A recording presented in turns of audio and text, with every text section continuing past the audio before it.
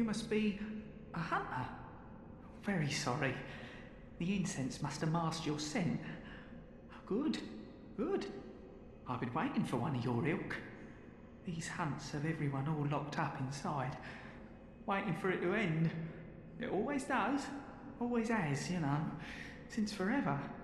But it won't end nicely, not this time. Even some folks hiding inside are going bad. Screams of women folk, the stench of blood, the snarls of beasts, none of 'em's too uncommon now. Yharnam's done for, tell ya. But if you spot anyone with their wits about 'em, tell 'em about this here Oedon Chapel. They'll be safe here.